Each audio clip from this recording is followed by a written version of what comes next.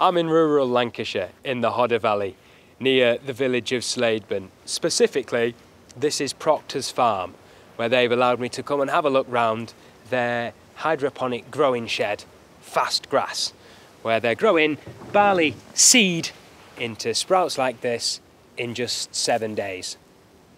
Judith runs the growing shed. Thank you very much for letting us take a look around.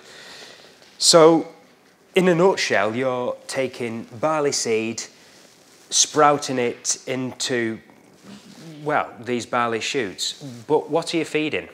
We're feeding Limousin cattle, the pedigree cattle, so it's important that they get a nutritious green feed that they can have throughout the winter while they're inside. They're not being fed on, the, we can't leave them outside because the grass is not nutritious during the winter time and there's very little of it. So they're inside eating this along with the silage and a small amount of concentrate. Onset of winter at the moment then, the, the, the cows are in the buildings until around May next year. That's Is, right, yeah.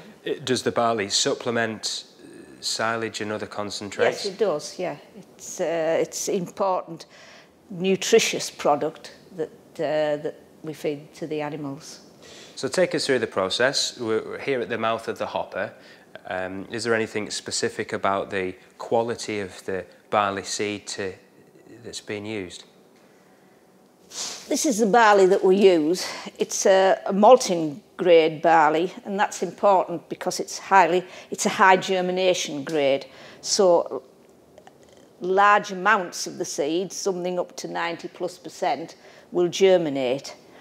It's also important in that it's a clean sample and therefore you don't get a lot of chaff in it which would cause problems in the unit. Uh, it doesn't have any additional chemicals that it would have if it was being used in the field. So what's next in the sprouting process then? We put this barley dry into trays and then put it in racks in the growing shed. Let's take a look. This is the growing room, racked up with trays of barley seed growing into sprouts. And Judith, thank you. You've laid out some trays of different days of progress. It's a seven day progress at the moment, I understand. That's correct, yeah. What have we got then? This is today. We put dry seed into the trays. It's obviously not dry now. It's had its first watering, so it's damp. But even so, there are some dry spots in it until it gets fully soaked. And how often is the um, watering process? The watering takes place every two hours for 30 seconds. It's automatically controlled. Day one, you can see very small rootlets appear, little white blobs basically at the end of the seed. Not a lot looks as though it's happened, but the seed is fully soaked by this time.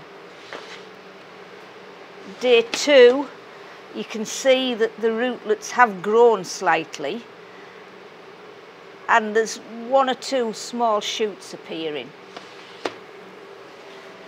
Day three, you can actually see a green haze where the shoots are actually appearing on the top there. The shoots have grown slightly more.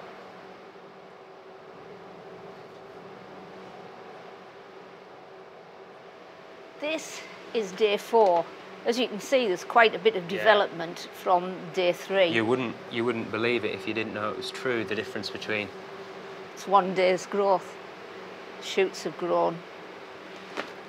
Day five, once again, you can see that the growth's been added on. And also, the root mat has started to form. So you can see there, it's a bit, it's held together, not completely, but there is a root mat forming. Day six, as you can see, compared to day five, the growth is greater, the shoots are longer, and the mat has formed. Day seven, once again, there's continued growth on the shoots, and the mat has formed there. And it's at day seven that the product goes out to feed the animals.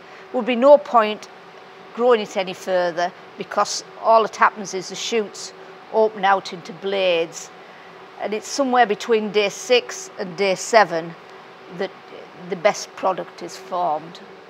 What's the climate of the growing shed then? It obviously has to be climate controlled because it's you can make it whatever you wish. And at the moment, it's running at 21 degrees centigrade and round about 85% humidity. There's underfloor heating and air ducting, uh, which makes that's heating and air circulation that's required. So whatever the weather outside, you can have your own ideal climate in here. The other thing that's required is the watering and for that we have overhead sprinklers. Also looking around Fast Grass Hydroponics today, we're a group of young farmers from South Wales and they got the chance to ask Judith questions on the system and process, including on cost effectivity and also future energy. The costs obviously are labour and energy. Energy is the biggest cost. Energy is a big problem, so you'd look at something, you know, you'd have solar panels, Yeah. or you'd have a windmill, yeah. or you, you know, you'd look at other ways uh, of doing it. That's a bit, that's going to get better in time as technology gets Yes, better. yeah. Feeding time. The full sprout is fed to the animals, including the root mat. Normally this is done by a machine with an auger bucket. But today, with lots of guests on site, they're doing it by hand.